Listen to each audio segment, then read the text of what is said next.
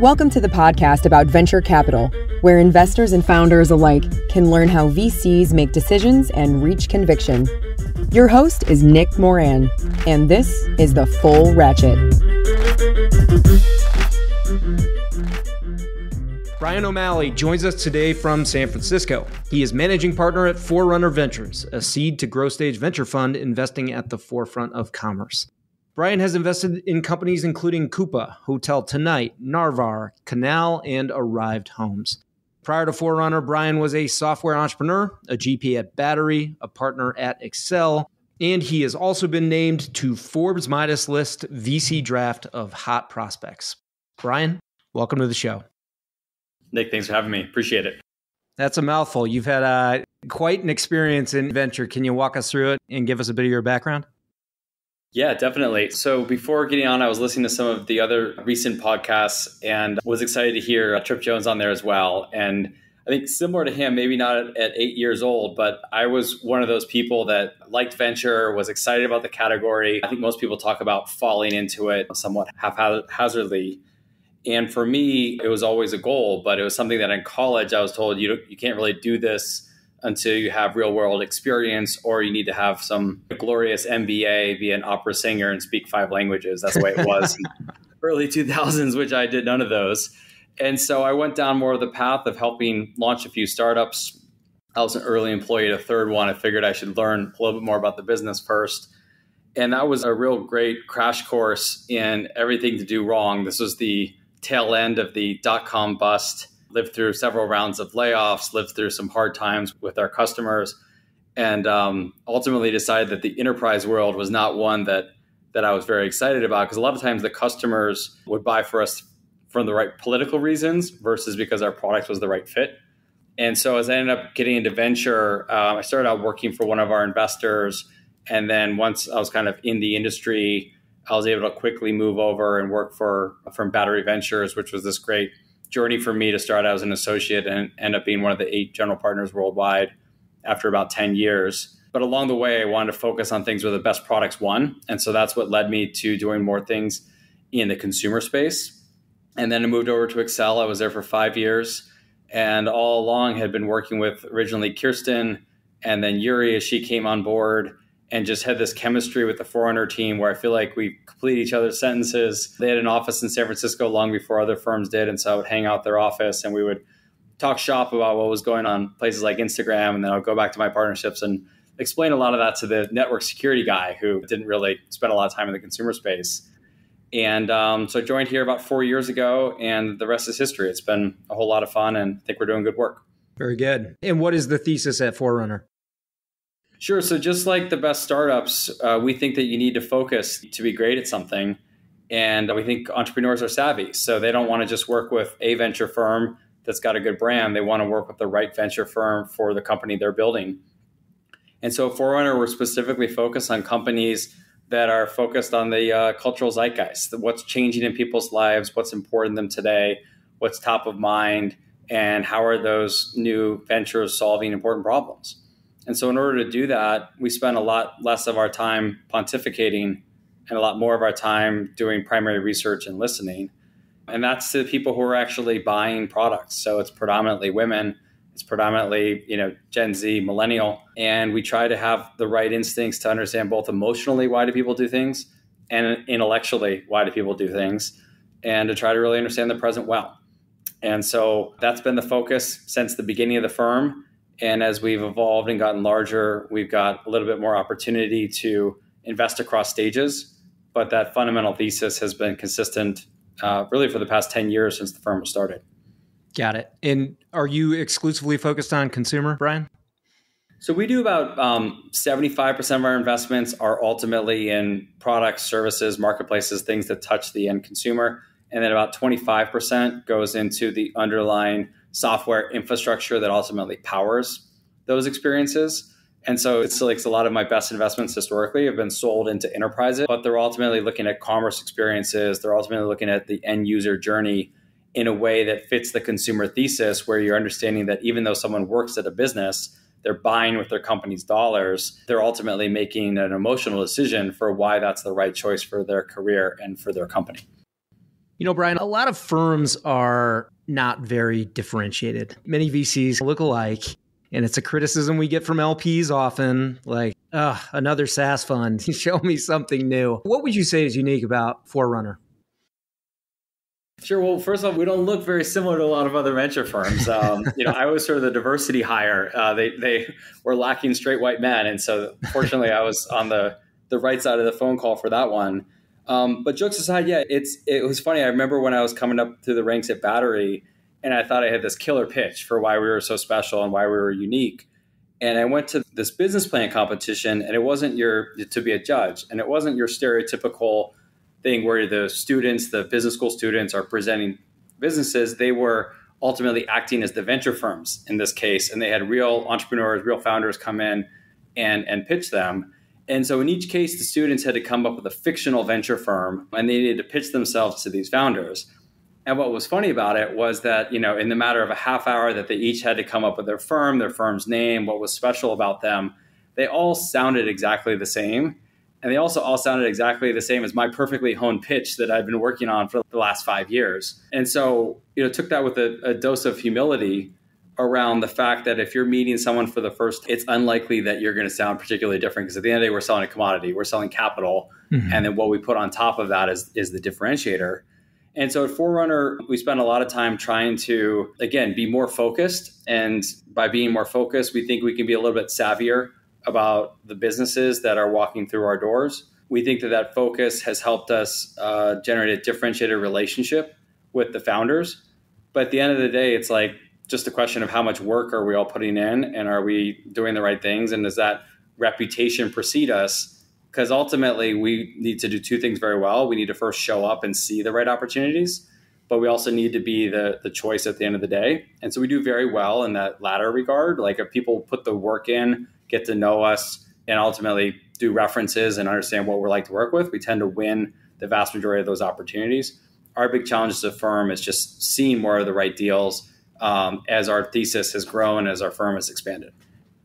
Yeah, and and you guys have grown quite a bit over time. You're doing deals at multiple stages now. You know, how do you hold on to kind of that differentiation and that identity of Forerunner as you scale the firm, the talent, and the portfolio? Yeah, it's it's not easy. I'll say that it's not an industry that scales particularly well, um, but it, is helpful not trying to do everything under the sun. And so the the first thing that we're doing is we're not evolving the thesis, right? The thesis evolves on its own, but we're still living within the same concentric circles we always have been. Um, we're just investing more broadly across stages. And so when we think about that, we all have backgrounds investing across stages and we really want to be able to be a capital partner for companies from the seed stage all the way through growth equity rounds. And so that doesn't require a lot more work, whether you own, you know, 2% of a company or whether you've invested and led multiple rounds and you own, you know, 20% plus. That's ultimately a similar amount of work. You're just getting more leverage along the way. And then we've also decided to keep our team small. And this was something that for me, coming from larger firms like an Accel or like a battery, we used to have, you know, you needed to hit the see more button on the website to kind of see everyone that worked at the firm. And that's not the path we're going down here at Forerunner. We want to keep the decision making framework tight. We want it to be a smaller group where we all know each other intrinsically. We all trust each other intrinsically because we think that makes smarter, faster decisions. And so we're trying to scale our research efforts. We, we think that that's something that we can be more proactive about looking at more sectors at the same time by uh, by scaling the research side and then also looking at the activities that we do on a daily basis where we're maybe not the best in the world at it right so i think a lot of venture firms have recruiting functions that's not exactly novel um, but for us when you're thinking about a smaller set of companies that have more overlap there's going to be more um, searches for a head of marketing where that the set of people that were interesting but were not the right fit might be relevant to the next company mm-hmm. there's going to be more lessons that can carry over and so instead of trying to do all of that ourselves, where we're not experts, we brought in this this woman Annie, and and she's great. She comes from you know Etsy. She was at, at Gusto. She was early people hire and, and leader in each of those cases. And her job is not to have one-off calls with every company, but to document and create the right databases, and then set it up so that the people leads for our later stage companies can then work with the earlier stage companies and you know and pay it forward. So we're looking for the kinds of software leverage that we would hope our portfolio companies would have. We're looking for the type of network effects that we would hope our portfolio companies would have and trying to bring those internally as opposed to building a massive organization, which is ultimately not the way we think will be successful. How do you scale those research efforts without, you know, increasing headcount substantially? We're figuring it out as we go. Um, so some of it might be, you know, additional people, but they might not be full-time employees, right? It's something that we look for our portfolio companies to specialize and do what they do, you know, uniquely well, but um, work with third-party groups for the areas where it's it's a little bit more commoditized or there's other people that are better. And so we're we're exploring what we should have in house, where we can work with third parties, and um, in an industry where a lot of investors think they already have the right answers, even just a light level of surveys, a light level of purchase data analysis. Um, can put you in front of others, and so we're trying to do that work. But we're, you know, figuring out the organization as we speak for what that should look like over the next five to ten years. Very good. And what's the current AUM at Forerunner, and how many folks do you have on the team? Sure. So it's about two billion. Um, the most recent fund was uh, was a billion, which is behind the scenes about 500 million focused on early stage, 500 million focused on follow on, and uh, I think the investment team right now is eight people. Wow, amazing! And about half of those are check writers, half of them are um, more support folks. So very good. We're figuring it out. Right now, we work a lot of hours, but um, we'd rather do that than err on the side of hiring people that we don't have a rapport with, we don't have trust with, and then that starts to creep in where you have extraneous process that is more there to keep the organization in line than it is to make everyone successful as individuals. Sure, sure. Well, clearly you've figured something out to get to this level of scale and, and success. So, you know, kudos to you and the team. You know, while we're talking about talent, there is sort of the sentiment lately that startups should be more conservative and cut back, you know, burn reduction. If you read VC Twitter alone, you'd probably yeah, I've read that. I've read that tweet once or twice. yeah, you'd probably think we're in like the most dire straits of all time. But you know, how are you and the team at Forerunner advising founders during this downturn? Yeah, well, look, it's it's a great opportunity to have some of the conversations that maybe should have been had over the last couple years in terms of um, which expenses are really needed, which additional headcount is really needed, and part of that comes down to the expense side, but part of that also comes down to just a productivity and a focus side for being able to do the right things. And it's a little bit embarrassing how many half hour, hour conversations can come up with a bunch of things that could be done you know more more efficiently than they have been over the last couple years. It's also a great opportunity to look at the quality of revenue, right? Like as people have been trying to grow uh, as quickly as possible along the way, a lot of times inefficient revenue is coming in the door, unscalable revenue is coming in the door, and not all revenue is created equal, and not all revenue is actually beneficial.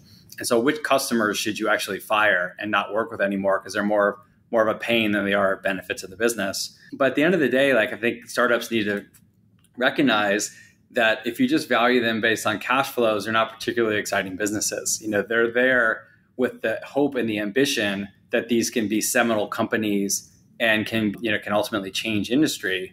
And so unless you're profitable or set up to be profitable, you ultimately need to go back to a set of investors and that set of investors is using the same criteria, if not more stringent criteria, for how they evaluate follow on.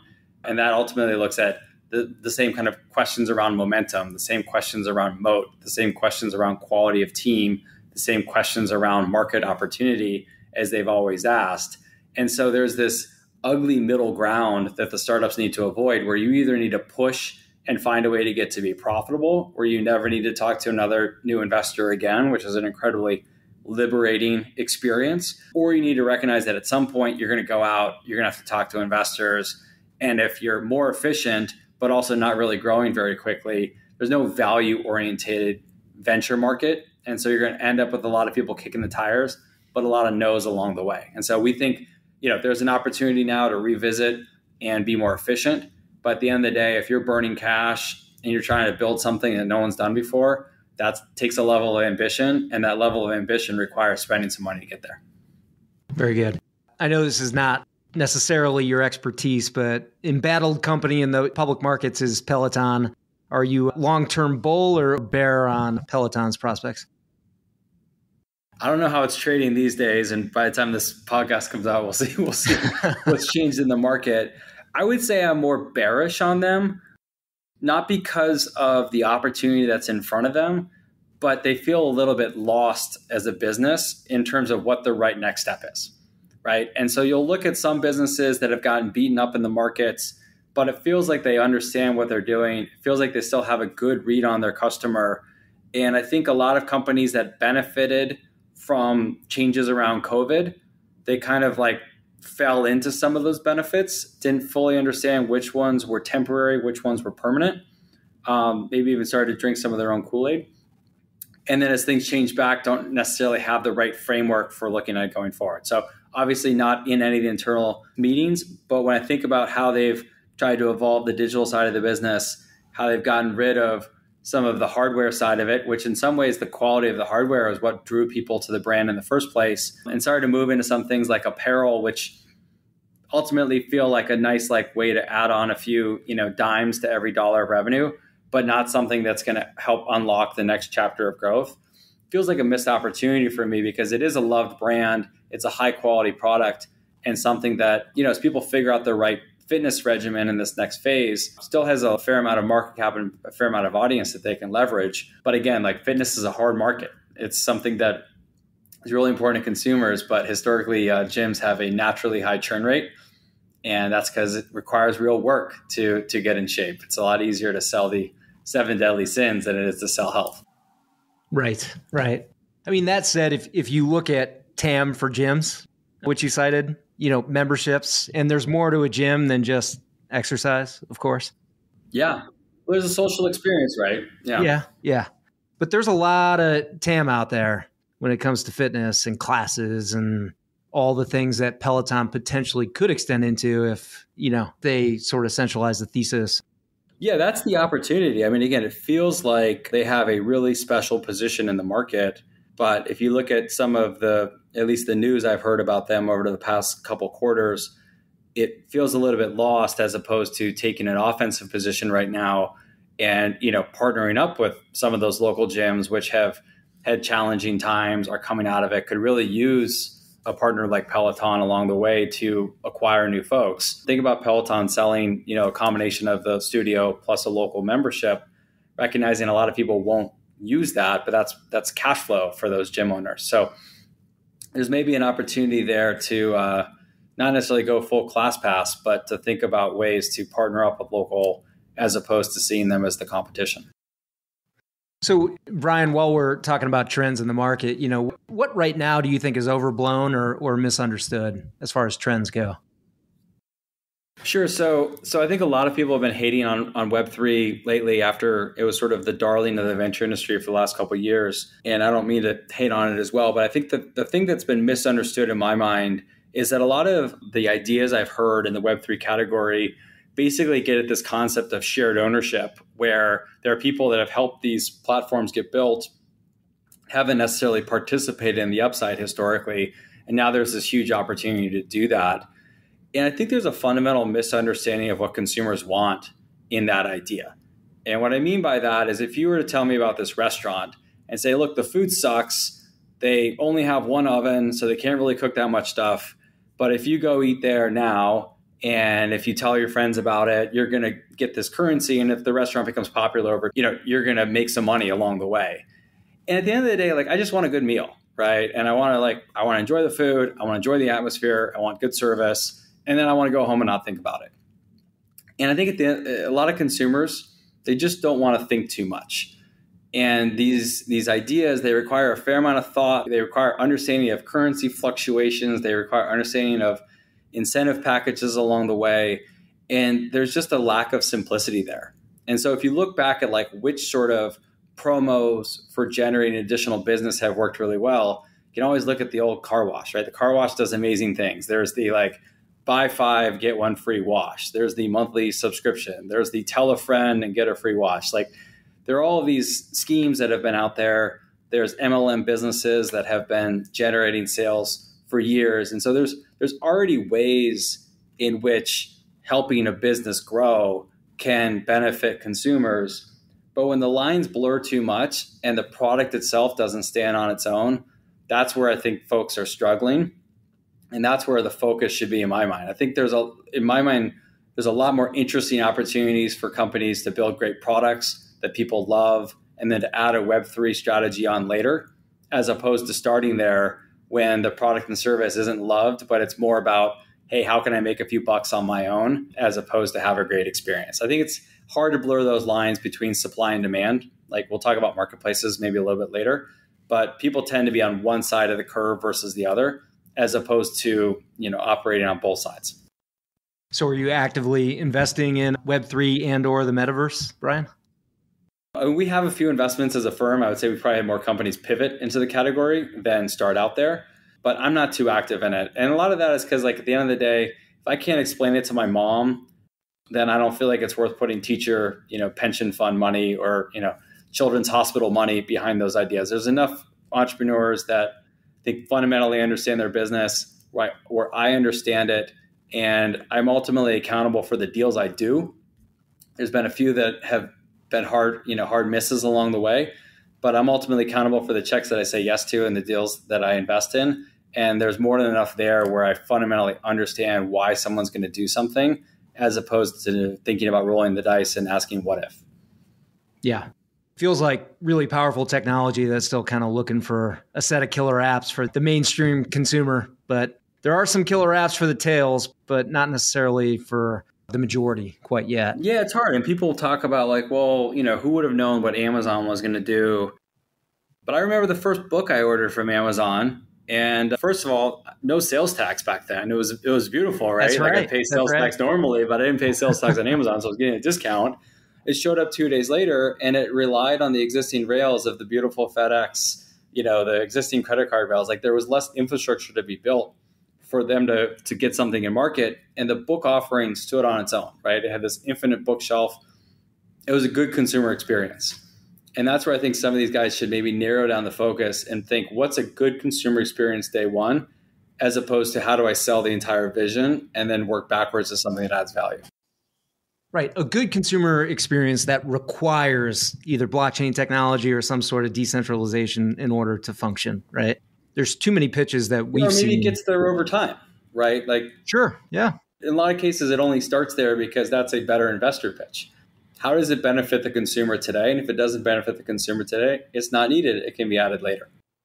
Well, thank you to all the VCs out there that are investing in the first generation of those companies and helping us figure it out. yeah. And by the way, that's not a universal forerunner opinion. That is my opinion. And that's why there's the benefit of partnerships because sometimes we say no uh, as an individual. We don't love a particular opportunity, but it works out later. And uh, that's the beauty of partnerships. Okay. So, Brian, you mentioned marketplaces, not to focus on the negative, but, you know, early on in a marketplace's life or an early startup launching a marketplace business, what do you think most founders miss? Is there a key insight or, you know, a key launch strategy that founders tend to get wrong? Yeah, I, mean, I think in general, a lot of people overinflate the value of their startup to everyone else in the world, right? It's their baby, it's a beautiful thing, they've spent a ton of time on it. No one wakes up in the morning wanting to buy from a marketplace, right? A lot of times, marketplaces fill in the gaps from where you can't just buy something from an existing vendor. Like if you look at like a Turo, for example, I would rather just go to Hertz, National, Avis, one of these kind of places that has a beautiful website, has people working at a customer service desk. But in a lot of cases, especially over the last couple years, they haven't had the right inventory. Their inventory is more expensive. It's not as convenient or as easy to get access to. And in those gaps is where there's opportunities for marketplaces to evolve and to gain a better inventory or foothold than was maybe there before, right? You think about, you know, Uber that was ultimately a gap in the San Francisco taxi ecosystem that enabled them to to thrive in a way that maybe wouldn't have been possible if the existing offerings were better. And so I think a lot of times when people think about marketplaces, they get intellectually interested in the supply demand side without recognizing the consumer just wants a simple, good experience. And I look to companies like Goat as a great proxy. There's a lot of magic and interesting things going on behind the scenes. But if you show up as a consumer, you just like buy shoes and they have the size listed. And so they've done a lot to simplify the front end to get away from the crappy kind of eBay experience where you're having to look through multiple listings at the same time to figure something out. Um, I think a lot of marketplaces could benefit from more simplicity out of the gate as opposed to trying to have every bell and whistle under the sun and ultimate flexibility. How does one know when they've achieved liquidity with a marketplace startup? I think the first sign is just multiple nodes interacting with multiple nodes right so it's not that you are just facilitating one transaction between two you know two individuals and going back and forth but when you see someone show up for one thing uh, maybe they're you know selling one item and then they've got another item that they want to sell as well or you know people are buying from you know multiple constituents i think once you start to see those nodes interact and things happen that weren't happening on a one-off basis or weren't happening on a local basis that's when you start to feel like there's some level of liquidity some level of stickiness, but it it ebbs and flows. And uh, a, a lot of times, I think it's easy to focus on this kind of growth metric along the way of saying, hey, we, we want X number of new supply onboarded. But if you don't get the right balance, that can ultimately create a fair amount of challenges where you know people aren't getting their wishes fulfilled in terms of a certain level of income, certain level of busy busyness. On the flip side, the consumers aren't getting what they need. Um, so you want to find that liquidity but you want to find it in a way where the the sides are both being balanced as the company grows. Sure. Yeah, we had Mike Evans on the show recently, co-founder of Grubhub, and his belief is that you always have to cheat one side of the market yeah. in order to kind of get it up to speed. And in his instance, he walked the streets of San Francisco and Chicago and collected menus from all these restaurants. He put them on a website and that's kind of how they cheated the supply side to kind of yeah. hack the system, you know, early on. It's illegal now, but it worked. It worked very well then, and you know, many things are. I mean, Uber, the example yeah. brought up before, you know, not necessarily on the right side of the law. Yeah. Well, cheap might be the right word, but what do you think? Do you think you have to kind of hack one side, supply side or demand side, in order to, you know, get these tricky two-sided marketplaces to some level of liquidity? Yeah, uh, yeah, definitely. I think one of the questions that we'll we'll ask marketplace founders when they come in is just like, wh- which is the most important side of the equation to figure out day one, mm. and you know, and how do you, as you said, hack the system to get critical mass on that side, and uh, and then if you do it right, the other side should fall in place, right? And so a lot of marketplaces that have been successful over the past decade or so have really been about figuring out the supply side because they've been pulling something together that was just not aggregated previously in a way that's really beneficial to end consumers. And so the supply side marketplace, I would say, has been more of what's been successful to date. Um, and then in some ways the demand side has really been more like social media properties or things like that that are ultimately more advertising focused. Um, but yeah i think you got to focus on one area and understand where the scarcity is in the particular category you're going after. And um, the right founders have a real clear vision for what that should look like. And brian how about the scale phase right? So let's assume some level of product market fit has been achieved founders raised you know a few rounds of capital and they've gotten to that kind of scale phase. Are there a set of heuristics that you know you look for in order to know it's time to kind of really inject a lot of capital and go for scale? And are there a set of things that you recommend you know founders manage very closely and monitor you know as they're going through the scale phase for a marketplace business? Sure. This is an area where I think a lot of venture people ultimately agree with one another um, and it's really just looking at the cohort retention charts. I listened to the, the podcast with, with Annie from Redpoint on it, and she mentioned this as well. So I don't know if this is a unique answer, but when you see the companies that have those kind of beautiful layer cake charts where you know their customers at least from a dollar retention standpoint are sticking around and then just adding one on top of another um, and when you see those kind of layers of the cake getting thicker as they go up where that group is adding more um, more to it more efficiently. That's a beautiful thing and something that you don't see every day. Um, but at the end of the day, it's it's that stickiness that really matters. Um, a lot of companies, not just in the marketplace space, suffer from a real leaky bucket problem, which might not seem like an issue if you focus at the weeks or months level. But there's ultimately this question of, hey, how much of next year's revenue has already been generated this year? And if it's you know 80% of what you're trying to get to next year that's a pretty easy leap of faith. If 80% of what you're trying to get to next year needs to show up next year, that's ultimately going to be a marketing exercise that maybe works for a little while, but taps out at some point. Mm-hmm, mm-hmm. And so that level of retention, that level of sticky behavior is is incredibly important from a metric standpoint. And then the other question is just always where do you go next, right? You have this audience, you have their attention, you have their time. Where are natural extensions to the business that ultimately add value to those people as opposed to just you as a business? And that's something that again, founders that really understand their customer base, they understand naturally where can they go next as opposed to, you know, where should you just stay focused and and do that job that much better. You know, something that we've got hung up on before, Brian, I would love your input. You know, marketplaces where there's high frequency and high usage, let's say, you know, meal delivery or uh, even GOAT, you know, folks that collect a lot of sneakers and stuff, you probably make handful of purchases a year on the platform. But then you mentioned Turo before, right? Turo could be a very infrequent use case. It could be you're renting a car I don't know, once a year, but it's a high dollar figure. You know, maybe it's $300 because you're renting a car for a week versus, you know, meal delivery, 40, 50 bucks.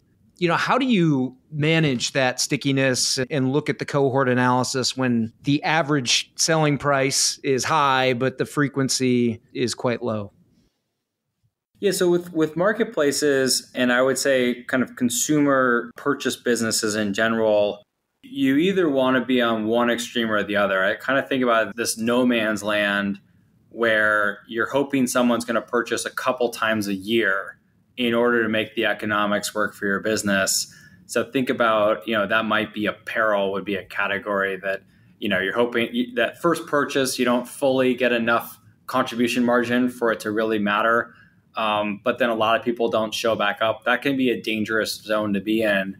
And so you know, I'd rather it be a weekly use case, even if it's a low margin one, because usually there are economies of scale and ways of improving that margin. You look at, you know, Dash Pass or, or things that ultimately add some level of subscription or recurring revenue to it, um, or where that first transaction has plenty of contribution margin and you want people to show back up. But if they don't show back up, the cash flow side of the business is good enough that you don't need to raise a lot of venture along the way and you can ultimately scale more more organically. And so so the more daily weekly use case but low margin requires a ton of capital.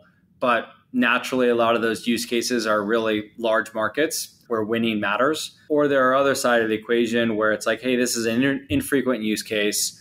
Um, you know listen like the Hipcamp kind of use case like where it's pretty infrequent but you're going to get enough margin that if someone doesn't show up immediately afterwards, um, it's not the end of the world. You probably didn't have to pay a lot of money to acquire them in the first place, and there was like enough accretiveness along the way that it, it, works out. It's the middle zone where, on average, it looks okay because you average a customer base where you have some people showing back up 10, 20 times, but where a lot of people are only purchasing once. And um, and that one time purchase isn't contribution margin positive that can be a dangerous math mm-hmm. exercise where it looks okay on paper, but from the cash flow dynamics, you're heavily reliant on venture money, and there's not a lot of venture money for some of those companies down the road. Interesting. So unit economics and payback period would affect it significantly. Low use case stuff, if you're paying back your unit economics in the initial sale, accretive and healthy, right? Yeah, and it's it's this danger of averages that a lot of companies, you know, when you look at all these stats, they will show you the averages but a lot of these businesses have this kind of whale co- component where their top 20% of their customers are really generating all the margin. And then everyone else is just sort of, you know, the fodder, the cannon fodder along the way. And that can work out okay over time. But then you really need to understand, hey, are there more whales out there or do you already ha- have you already saturated that market with your early offering?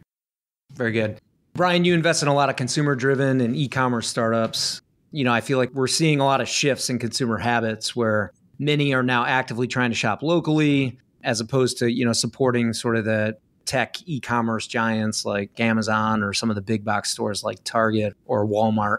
With this shift in focus to local economies, what are some of the startup solutions that you've seen emerge?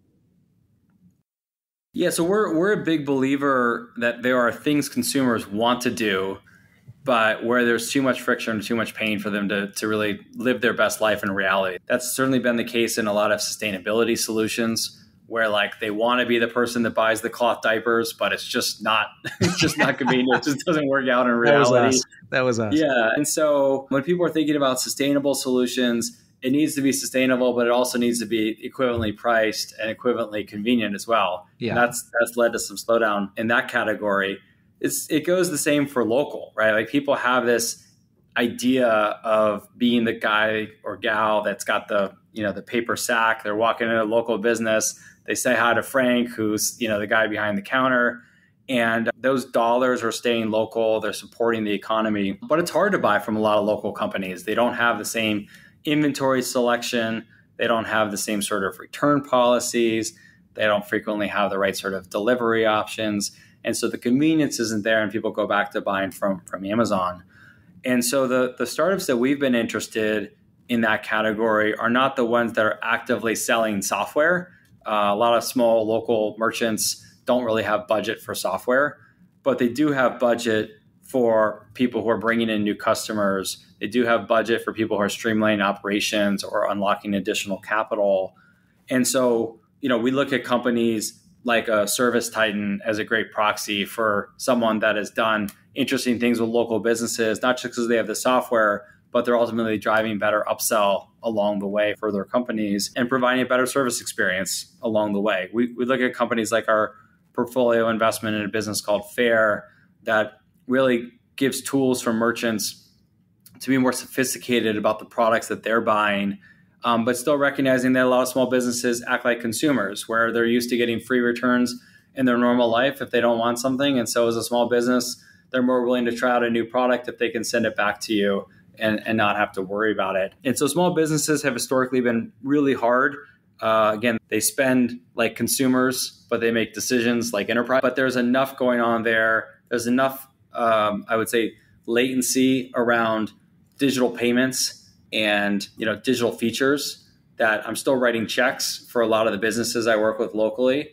And and I, I kind of like that opportunity better to take things that are real entrepreneurs who have real companies and have real transaction volume, trying to help bring them into a digital world versus take people who are hobbyists online and try to help them become businesses. I, will take the former over the latter when I get that option because it feels like there's a lot that can be done in the next couple years.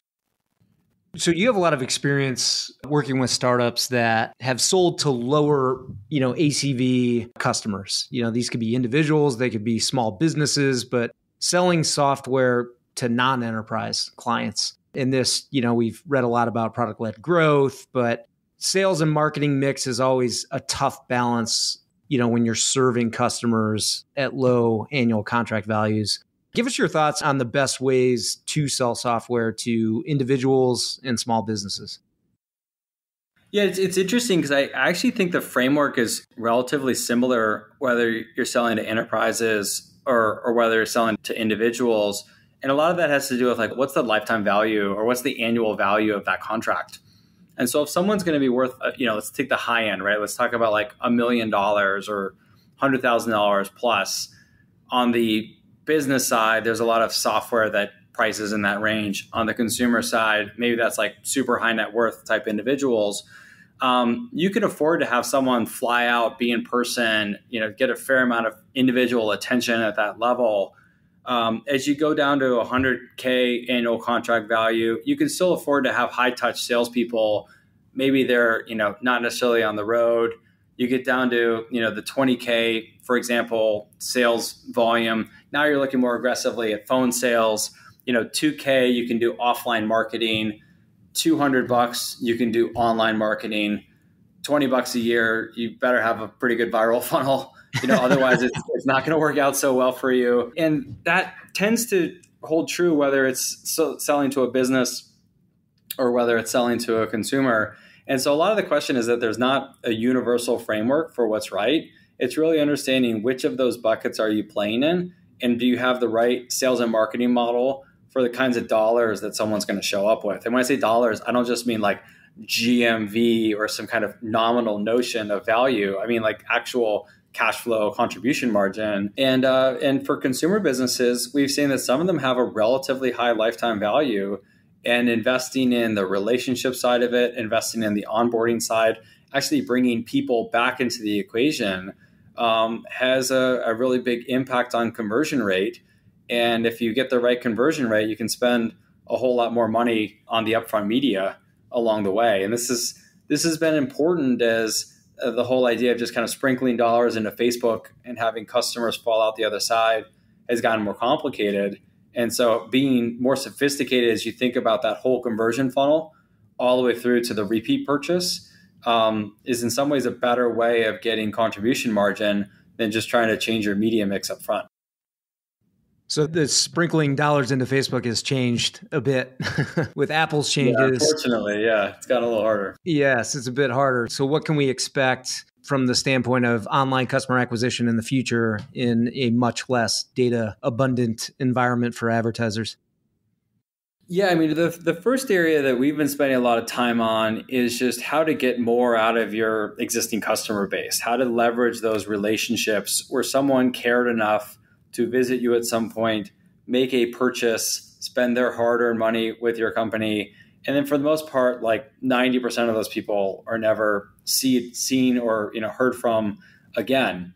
And so we've been investing in a fair amount of enabling technology companies that help out with that theme. So companies like a Narvar, which does package tracking, return automation, um, you know, really helping companies think through the lifetime value of that customer by having a great post-purchase experience. Hmm. That would be one example. We have a company called Canal, um, which helps any online merchant build a third-party marketplace on their site. So if you think about someone, you know, Fellows, one of their customers, they sell these, you know, really cool uh, coffee brewing machines.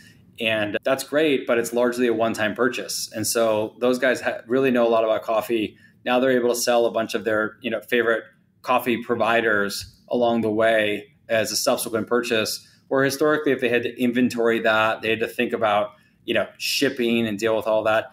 It just doesn't make sense for Amazon to do that. They've shifted heavily to third party sellers.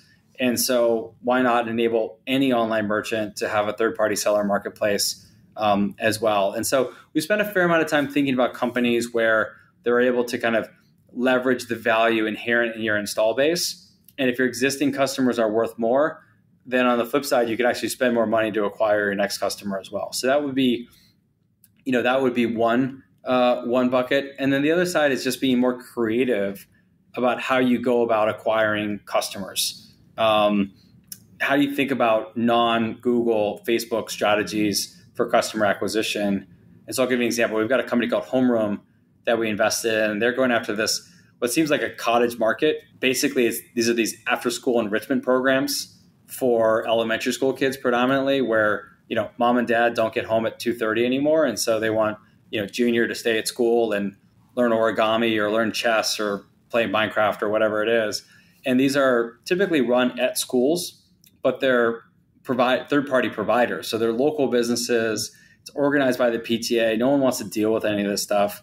But there's you know hundreds of thousands of dollars of commerce happening on these little school campuses and it's even more predominant in, in lower income or more more rural areas and so homeroom's customer acquisition strategy is they just get they just onboard the school and it's usually working with one pta volunteer but once the school's onboarded they're now this marketplace for local commerce that thinks about the elementary school as the place where a lot of parents and kids interact and a good place to to build off of. So they don't have to think at all about Facebook spending because they're really about enabling these local marketplaces. And so we're excited about businesses where they're not necessarily saying, "Hey, our CAC on Facebook is $44. We want to raise $10 million because we think we can keep getting $44."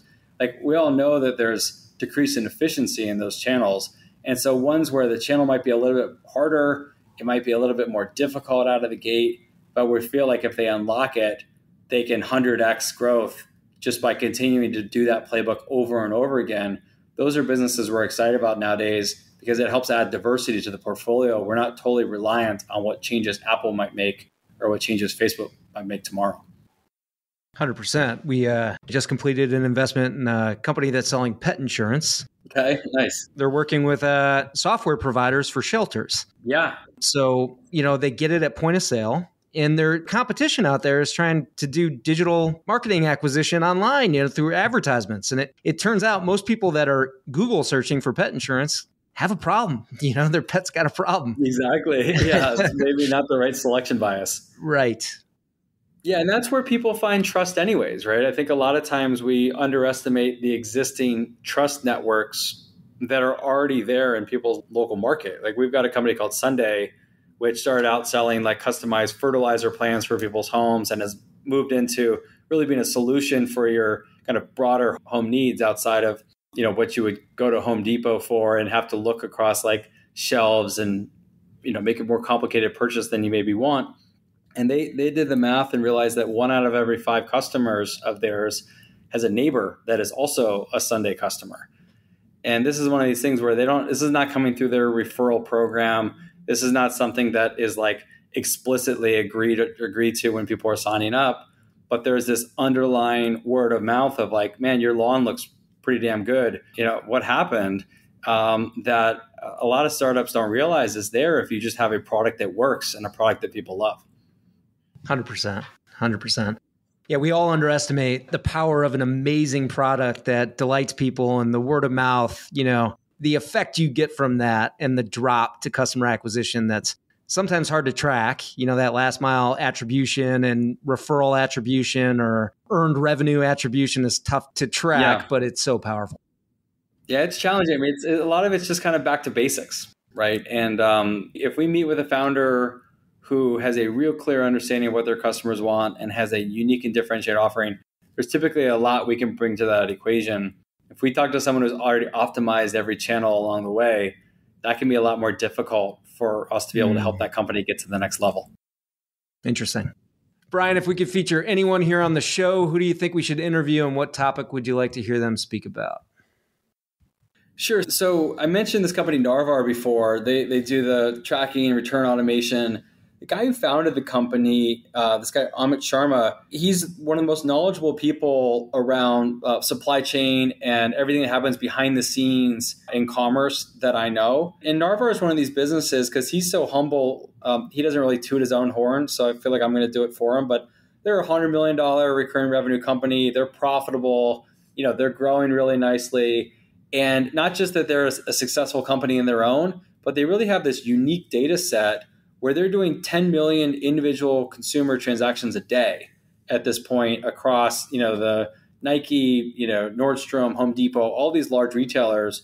So when people have questions about inflation or about consumer spending, what back to school looks like, they're sitting on this treasure trove of data because they know actually like what people are buying and how those trends compare to previous years. Um, and they're able to leverage a lot of that data with the different companies they work with in terms of understanding like hey you know this person you maybe shouldn't give them free returns because they you know they always they always buy too many and try to return it all. But he's one of these humble people that a lot of times podcast hosts tend to be the people that toot their own horns. And um, you know some founders are really good at that but this guy's like a wealth of information. He's got an amazing beard at this point. Uh, so if anyone's going to tune into the video version, they, they might be appreciative of that. But um, thinking about not just how do you build a resilient startup, get to profitability, but what's really going on with the consumer, they have a unique lens on that data. Brian, is there a resource, a book, or an article, or something that you'd recommend to listeners? Man, I'm I'm looking for new resources these days, so I might ask you that question after this. But like one book that um, that I read recently that I, I, really enjoyed was the the David McCullough Wright Brothers book. I don't know if you if you ever read that. I haven't. And we've all heard the stories about Kitty Hawk and about the Wright brothers, and but this was really a much more detailed biography. And at a point where I think a lot of folks are feeling a little banged up about America and like what's going on here, it was this really great story returning to just like this grit and determination around the entrepreneurial spirit, where everyone doubted them and they just kind of grinded it out and solved one problem after another didn't listen to any of the conventional wisdom and uh, you know now we're able to fly around the world because of the innovation that they had but it's just it was a very well written i learned a lot about you know two entrepreneurs I didn't know much about previously, and um, really kind of like you know they've got this Dayton, Ohio spirit to them that was uh, was refreshing given a lot of the political unrest that we're dealing with on a daily basis these days. Love it. And finally, here, Brian, what's the best way for listeners to connect with you and follow along with Forerunner? Sure. So Twitter, love it or hate it, is still a pretty good way. I'm I'm at Omal, so O M A L. That's a great way. Or your email is it also works. It's it's b o'malley at forerunnerventures.com. Well, he is Brian O'Malley. The firm is Forerunner Ventures. Brian, thanks so much for the time and all the insights. Sounds good, Nick. Appreciate you having me. Thanks, Brian. Take care.